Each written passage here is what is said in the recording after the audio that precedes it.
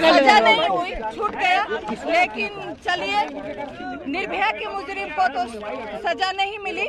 लेकिन आगे ऐसा जो कानून बना है मुझे तसल्ली है कि और बच्चियों को साथ अगर छह ऐसा साल हो गए मैम छह साल हो गए इस लड़ाई को लड़ते हुए। आज आप कैसे महसूस कर रहे हैं? देखिए मेरा संघर्ष छह साल से चल रहा है।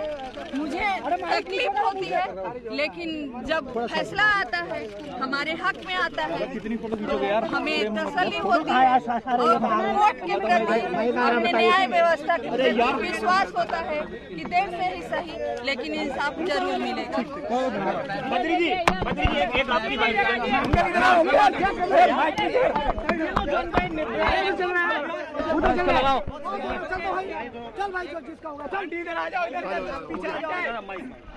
All right, that was Nirbhaya's mother there. You just heard essentially both her parents obviously saying that they want the death uh, sentence to be carried out as soon as possible.